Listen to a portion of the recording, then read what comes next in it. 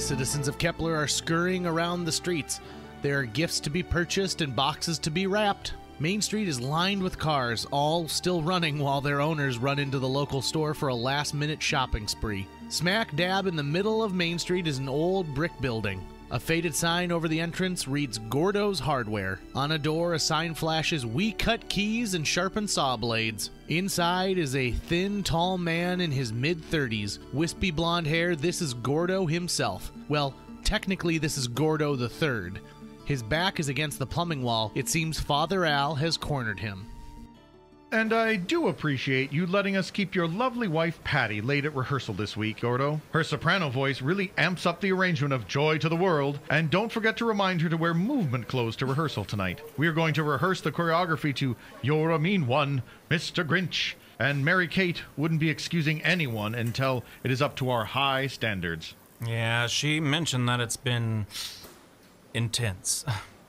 Here's the part where uh, you were looking for, so if that's it, I can ring you up. Now that you mentioned it, I was curious if you'd be willing to donate some of these nice new LED Christmas lights to the church.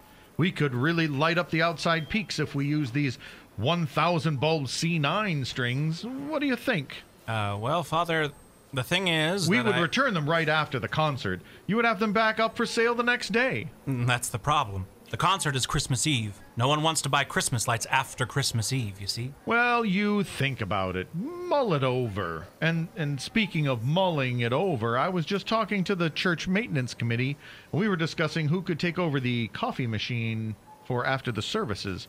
I know Patty has been anxious to be the coffee captain. Hey, now. Are you trying to bribe me? No, no nothing of the sort, Gordo. But uh, you scratch my back and I can scratch yours. What? My back doesn't itch. It, it, it's just an expression. There you are, you, you, you bowl full of jelly. Now, Pastor, there is no need to resort to name calling. You're lucky that's all I'm gonna do. You saw the stickers then? To quote almost everyone in Kepler, you betcha.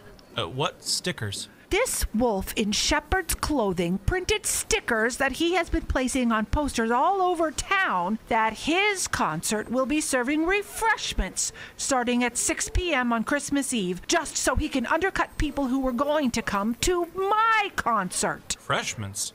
Really? That sounds great. Thanks, Father. Snacks are for new faces, Gordo. And don't forget, we're still negotiating about coffee captain position.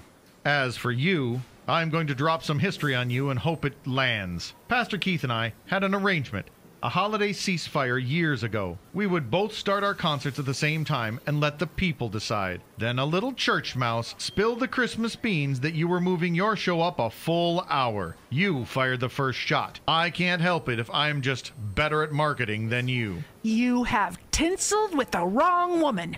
My concert will be the best in town. You'll see. Well, I never. Now, Gordo, about those Christmas lights.